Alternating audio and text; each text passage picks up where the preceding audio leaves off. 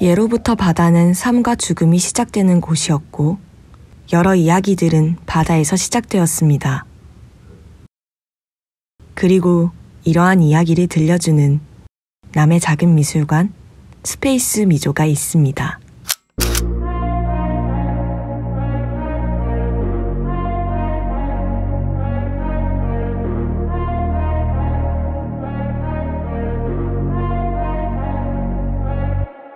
Bye.